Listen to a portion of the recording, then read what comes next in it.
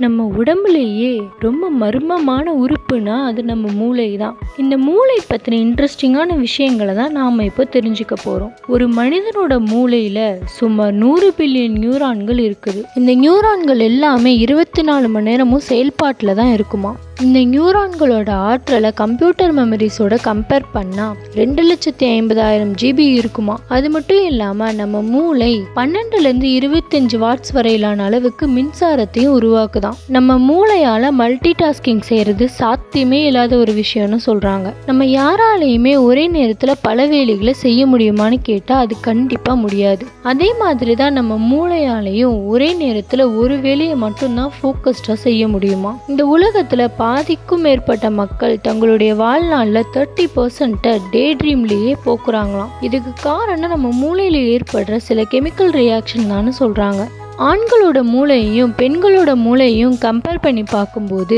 பெண்களோட மூளை கொஞ்சம் சின்னதாக தான் இருக்குமா? நம்ம நிஜத்தில் பார்க்குற எல்லா பொருட்களையுமே நம்ம கண்கள் தலைகீழாக தான் காட்டுது. அது நம்ம மூளை தான் சரி பண்ணி நமக்கு நேராக காட்டுது. நம்ம மூளை பெருசாக இருக்கிறதுனால நம்ம சூப்பராக ஒர்க் பண்ணுவோம்னுலாம் அர்த்தம் கிடையாது. நம்ம உடம்போட பாகங்கள் எல்லாமே இருபது வயசுலேயே வளர்ச்சியை நிறுத்திடும். ஆனால் நம்ம மூளை மட்டும்தான் நாற்பது வயசு வரைக்கும் வளரும் தன்மை கொண்டதான் விஞ்ஞானிகளோட கூற்றுப்படி டேவை விட நைட்டில் தான் மூளை சுறுசுறுப்பாக இருக்குமா? மூளைக்கு வழி தெரியாது. பெண்ணை மாதிரி கொலகலப்பு தன்மையில தான் நம்ம மூளை இருக்குமா? நம்ம எந்த நேரமும் எதையாவது திங்க் பண்ணிட்டே தான் இருப்போம். ஒரு நாளைக்கு எழுபதாயிரத்துக்கும் அதிகமான விஷயங்களை நம்ம திங்க் பண்ணுவோமா?